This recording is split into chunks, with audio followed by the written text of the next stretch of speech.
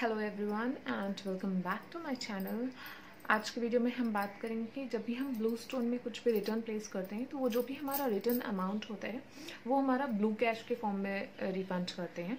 तो वो जो हमारा अमाउंट ब्लू कैश में आया होता है, हम उसको अपने अकाउंट नंबर पर कैसे ट्रांसफ़र करते हैं। So let start my video so मैंने अपना लैपटॉप ओपन किया। देन मैं यहाँ पे जाऊँगी सफारी पे। और यहाँ पे एल टाइप ब्लू स्टोन और ब्लू स्टोन ओपन हो गया है। As you all can see here is my account यह मिश्रा। मैं यहाँ पे जाके ब्लू कैश में जाऊँगी। You can see this is a option blue cash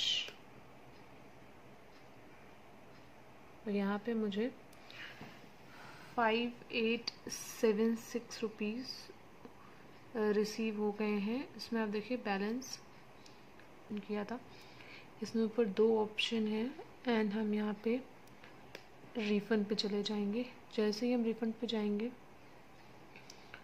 तो यहाँ पे ऑप्शन आ गया कि हमने और भी ट्रांजेक्शन्स करे हुए तो उन्होंने कहा रिफ़ंड ऑप्शन यहाँ पे आ गया कि blue cash balance total refund amount five eight seven six तो हम यहाँ पे रिफ़ंड पे चले जाएँगे।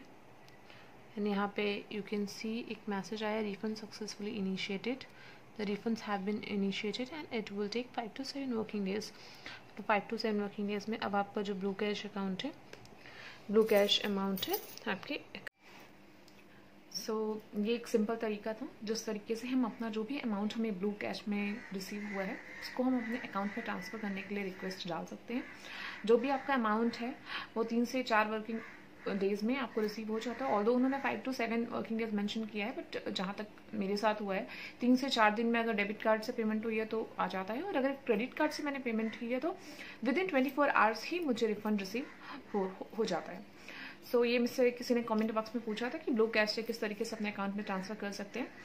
तो मैं एक बहुत इंपॉर्टेंट चीज़ बताना चाहूँगी कि इसके लिए आप कोई भी रिक्वेस्ट जो भी डालना चाहते हैं रिफ़ंड के लिए वो आपके मोबाइल से पॉसिबल नहीं है। उनका इस तरीके का स्ट्रक्चर है कि आपको लैपटॉप का यूज़ करना ही पड़ेगा। तो अगर आपके पास कोई भी लैपटॉप है या मैकबुक है आप उससे सिंपल से जाके इस तरीके से अपना रिफंड के लिए रिक्वेस्ट डाल सकते हैं।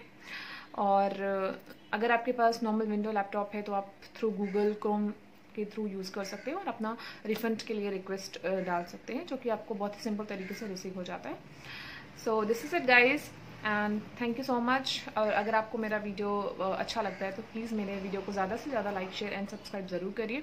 और यस अगर आपके और भी कोई क्वेरीज है तो प्लीज़ कमेंट बॉक्स में मेंशन कर दीजिए। मैं उसको जल्दी से जल्दी रिजॉल्व करने की कोशिश करूँगी।